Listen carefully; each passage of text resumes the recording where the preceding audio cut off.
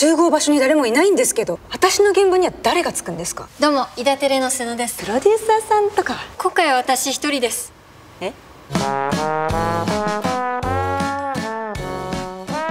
そこに書いてあるセリフは覚えてください。これドキュメンタリーですよね。ドキュメンタリーにも演出は必要なんで。実家泊まるんじゃないですか？